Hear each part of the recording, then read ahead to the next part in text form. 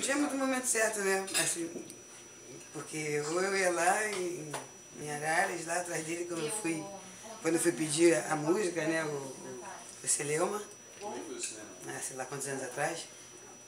Ou eu, ou eu tinha que sacar de alguma forma, né? Eu não sei muito programar as coisas. Falei, hum, agora então. Eu tinha que falar, mas também você tá no show, não é lugar de ficar falando dessas coisas. Acabou de sair do, do show, né?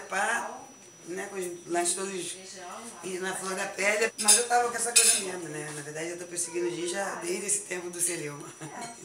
Sabia que ele talvez não, não, não por nada, porque afinal de contas, sabia também que ele estava começando a fazer um disco, estava terminando a turnê do outro, fazendo o DVD, começando um disco de inédito, assim, de coisas, né?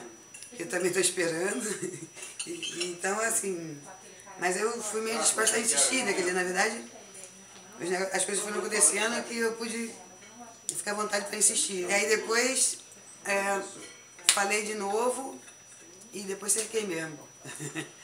Então aí eu sabia que né, seria uma coisa que eu.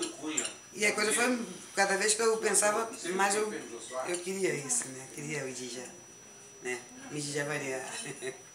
Aí cerquei mais e tal, aí pô, eu tentei fugir, ele mesmo falou. Mas.